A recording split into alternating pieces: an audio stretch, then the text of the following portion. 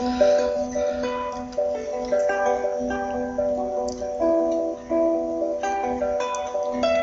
broke free the cage of old Cheffy Blave and flew to quest the space of her dreams, which the shot of ignorant guards pierced her heart, and this was the cause for a beautiful experience.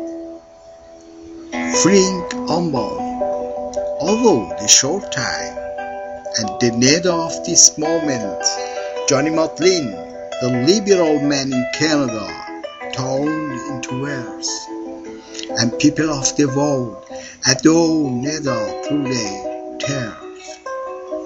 Now, Neda is the symbol of liberalism. Quiet sleep, sweetie daughter's daddy.